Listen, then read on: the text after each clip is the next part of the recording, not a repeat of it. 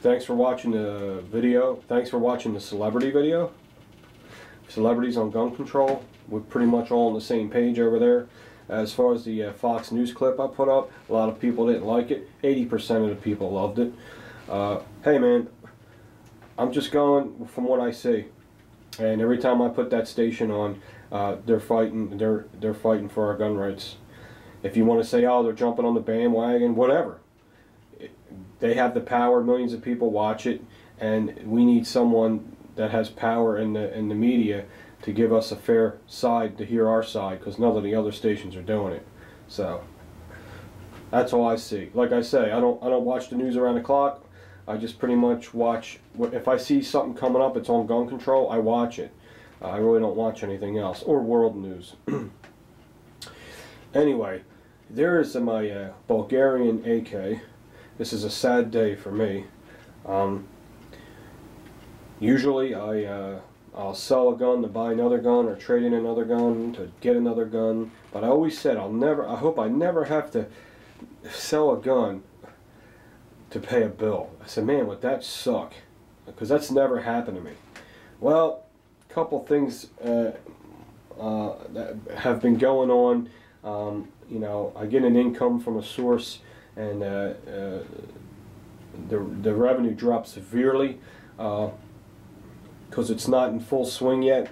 So um, I ain't gonna be able to cover um, my finances uh, for the next two months. So, and plus, I have a credit card collection agency harassing me every day, whatever. and uh, I got to come up with some serious money. Um, yeah, how about that? Ain't that fun? This is my Bulgarian 101S milled AK. And you guys know it's it's loaded to the max, and I do have all the original parts too, because it is a collector's item. Every single part is specifically stamped with a number. And uh, this is the cream of the crop. As far as modern AKs go, this is the head hunch. This is this is the one. So um, I am going to have to part with it. I really didn't want to, believe me, but I'm going to have to. And it was between this one and the Polytech, and I just can't let go of that Polytech.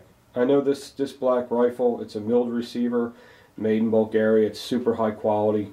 I got the MS3 sling, the Parabellum Armament special Picatinny rail, and the dust cover and it's hooked up man but um, I still want my Polytech believe it or not it's it's it, it, the Polytech is just it's like my ideal AK I, I, love it you know and I know it's on an AK it's an AK platform but between the two if I'm going to have to part with it I'm going to have to part with this one so um, it is available and uh,